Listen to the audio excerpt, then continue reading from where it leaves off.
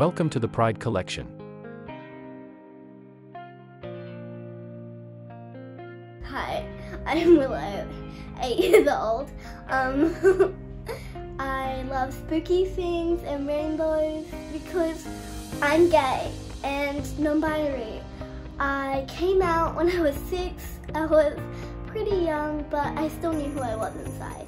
I told my two moms, and they were really understanding because they're gay as well, and they appreciate me for me.